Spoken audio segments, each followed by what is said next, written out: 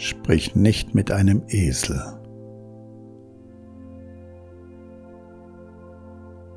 Der Esel sagt zum Tiger.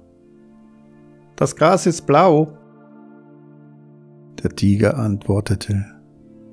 Nein, das Gras ist grün. Ein Streit brach aus, und sie gingen zum König der Tiere, dem Löwen, um ihre Differenzen beizulegen.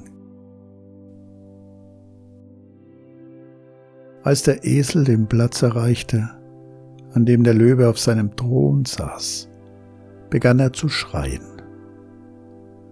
Eure Majestät, ist es wahr, dass das Gras blau ist?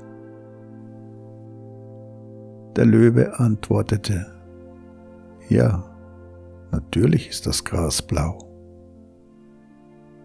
Der Esel war begeistert und fuhr fort. Der Tiger widerspricht mir und nervt mich Bitte bestrafe ihn.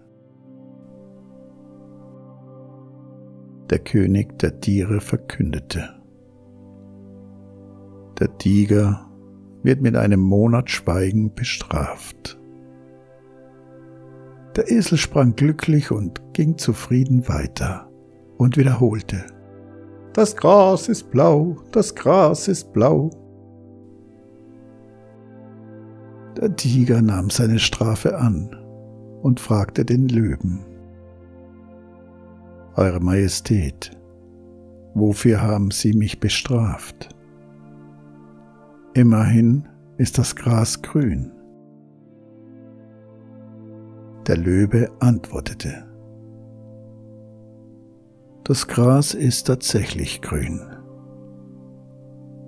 Der überraschte Tiger fragte, Warum bestrafst du mich dann? Der Löwe antwortete. Das hat nichts mit der Frage zu tun, ob Gras blau oder grün ist. Die Strafe dafür, ein tapferes und intelligentes Tier wie du zu sein, darf keine Zeit damit verschwenden, mit einem Esel zu streiten und dann meine Zeit mit dieser dummen Frage zu verschwenden.